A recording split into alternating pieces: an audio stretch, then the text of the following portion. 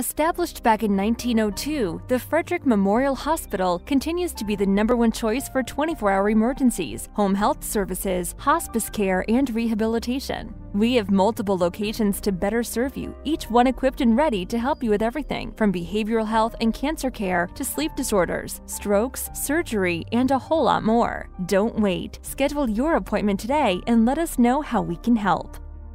Frederick Memorial Hospital. Call us or visit us online now.